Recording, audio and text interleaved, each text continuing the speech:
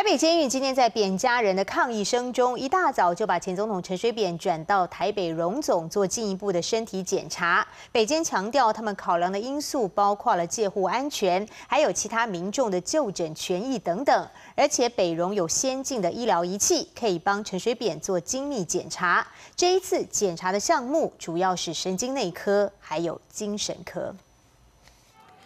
一大早六点多，北监就出动大批警力借护陈水扁转院。七点半，借护车队进入台北荣总。陈水扁的儿子陈志忠早就等在荣总门口。陈志忠批评北监完全没有尊重陈水扁的意愿。北监特别出面说明。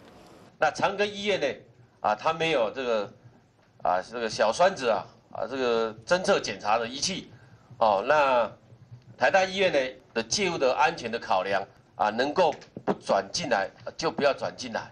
啊，马街医院呢？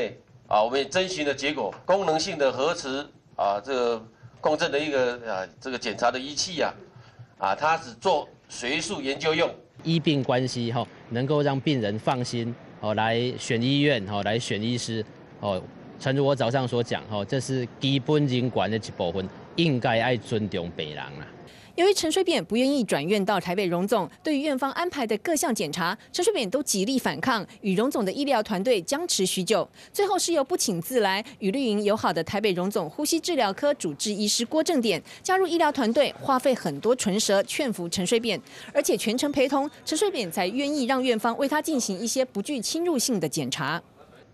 那真的是僵持很久，这是倒是事实了。那我今天也很幸运，很很高兴，说我能够扮演一个润滑剂的角色，哦，帮龙总跟他之间的。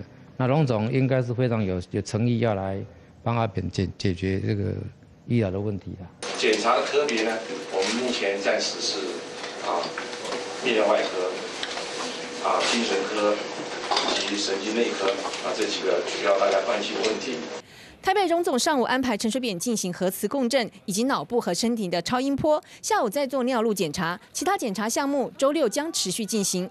荣总将等所有检查结果出来后，交由北监对外说明。记者综合报道。